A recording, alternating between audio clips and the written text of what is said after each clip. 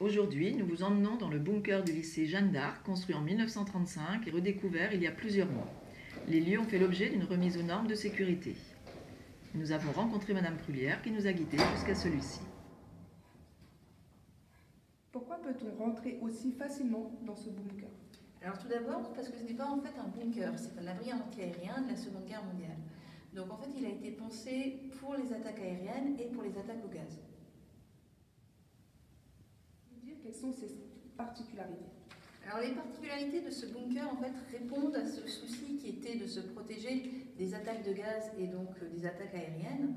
Euh, tout d'abord, nous avons un système donc euh, comme on voit ici de permettre pour recycler l'air puisqu'en fait nous sommes sous le niveau du sol et donc il fallait pouvoir faire entrer de l'air dans ce bunker qui pouvait accueillir jusqu'à 400 personnes et pour donc un système d'aération avec une prise d'air extérieure. Et donc en cas d'attaque de gaz, le système était totalement étanche. On a déjà au niveau des portes un système de joints. Et ensuite, on avait un système qui était également présent qui permettait de fermer l'aération vers l'extérieur et de recycler l'air ambiant dans, présent dans le bunker, euh, on va dire un petit peu comme un recyclage de l'air que vous avez dans une voiture. Lors de notre visite, nous avons découvert des inscriptions en français et en allemand. Et pouvez-vous nous dire s'il a vraiment servi? Alors ce bunker a été en activité, on va dire, donc euh, à partir de 1940, mai 1940 particulièrement quand il y a eu les bombardements de Nancy.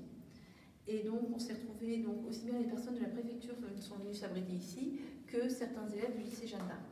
Il a aussi été également utilisé avant pour, on va dire, préparer des élèves à venir se réfugier. Donc des sortes d'alertes d'incendie, mais c'était des alertes au bombardement.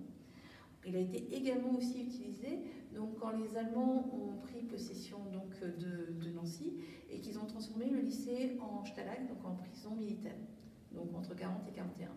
Et comme vous avez pu le voir, enfin un petit peu en visitant avec moi, il y a effectivement également des crochets, donc ça a été également utilisé, on va dire, comme vestiaire pour les élèves dans les années 60-70.